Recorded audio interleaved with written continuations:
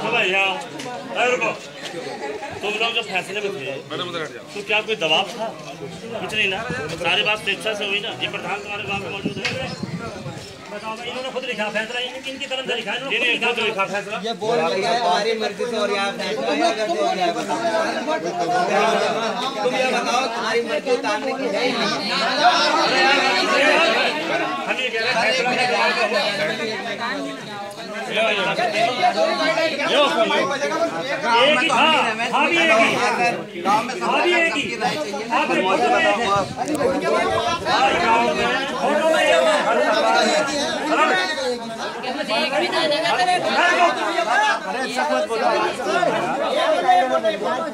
परिवार में बात अधिकार बहुत बोलने का वो सारा परिवार की बोल रहे हैं हमारे। तो बा- बहुत बहुत सारा अरे बात- बाप पूरा गाँव तो सहमत है पूरा गाँव गाँव तो है बाप थे।